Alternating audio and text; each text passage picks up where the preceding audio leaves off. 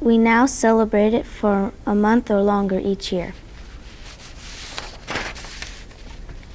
One of the favorite sports at Forest Park is gymnastics. We have two teachers to help us learn the skill, skills, and we have two classes a week after school. Our gym gives us plenty of room for the sport, and we also have nice new equipment to practice on. One year, gymnastics was so popular that the teachers had to ask some of the older students to help teach the younger gymnasts. At Forest Park, we flip over gymnastics. With more stories about our school, here's Jim. Students at Forest Park take great interest in ping pong. Last year we had a ping pong tournament. There were two divisions, one for the fifth grade and one for the sixth. Rice Carroll was the sixth grade winner, while Andrew Brick was a fifth grade champ. Ping pong is so big in our school we couldn't hold a tournament this year. That's because so many people are participating in the sport.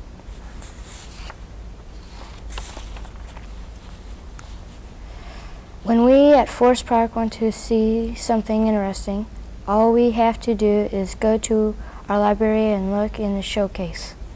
There is always something unusual there to see. The showcase holds everything from swords to old coins. It is open to anyone who wishes to display something of interest, and it is one of the most popular attractions in our school. Next is Todd with some more stories about Forest Park Elementary. Forest Park has a balloon launch every year. The purpose of this event is to increase reading in our school.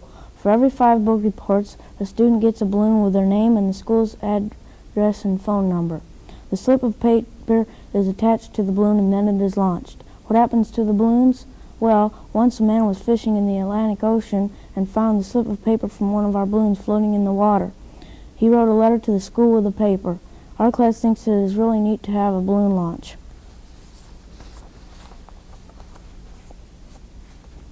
Our class likes to travel and this spring we are heading for Chicago by chartered bus.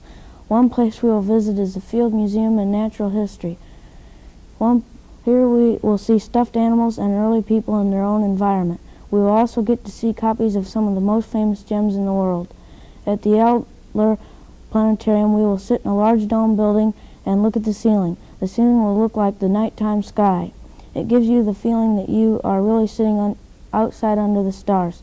We are also excited about going to the Museum of Science and Industry. Here we will get to see a captured German submarine and also get to travel down into a replica, replica of a coal mine. Our class can't wait to go because it should be an experience to remember.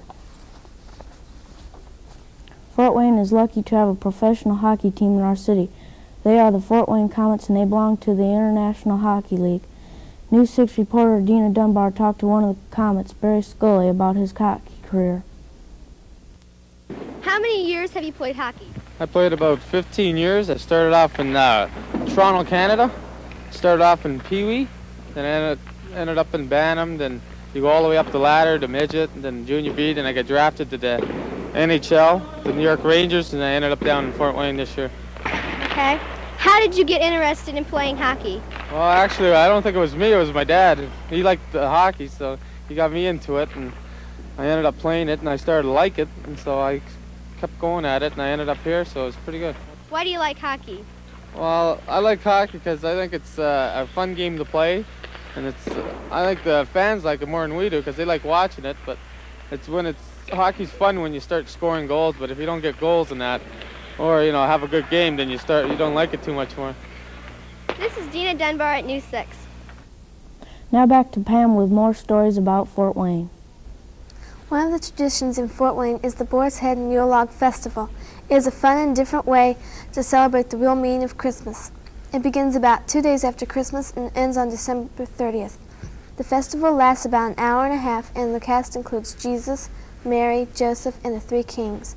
Also included in the cast of 200 people is a full orchestra and a bell choir. Last year, five performances were given to an audience of over 2,500 people. It is the only festival of its kind in Indiana, and there is only one like it in Ohio. That is the festival held in Cincinnati. One of the most interesting sights in our city is historic Fort Wayne, a reconstruction of the last frontier army post in the state of Indiana. Historic Fort Wayne was originally built by the soldiers of the United States Army in 1816. It was abandoned after only three years because the frontier had moved west westward and the fort was no longer necessary. If you visit the fort today, you will see it just as it was many years ago. The people you meet inside are dressed in the clothing of that time and will tell you what it, life was like in the 1800s. News 6 reporter Lori McCluskey talked to one of the fort soldiers, Private John Crozier, about historic Fort Wayne. Is life in the fort hard? Well, yes, it is. It's a lot harder than it is back in the big cities back east. For instance, in weather like this, each man is only issued one blanket, which necessitates that we sleep two in a bed. And we're also regulated in the month of February to only burn a cord and a half of wood in the men's barracks, which means we can only burn, oh, six to eight sticks a day, which keeps it pretty cold. We only burn the fire when, in the morning when we're getting up. How do you defend yourself? Well,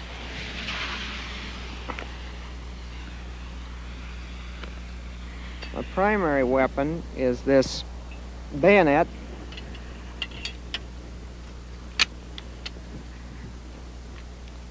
which is used for close fighting. And then when I get back a hundred yards or so, I use this flintlock musket. And the way it is fired is we've got a piece of flint here which strikes against this piece of steel here, which will throw sparks down into the pan, which is full of gunpowder. The fire will go into the barrel. The bottom of it is loaded with gunpowder. There's a ball in front of it that ignites the gunpowder, and the ball shoots out the end. This is Lori McCluskey for News 6. Thank you for watching News 6. Today's show is brought to you by the 6th grade class of Mr. Don Gruba at Forest Park Elementary in Fort Wayne. Next week, News 6 will feature the 6th grade class of Defiance St. John Elementary. Have a great week.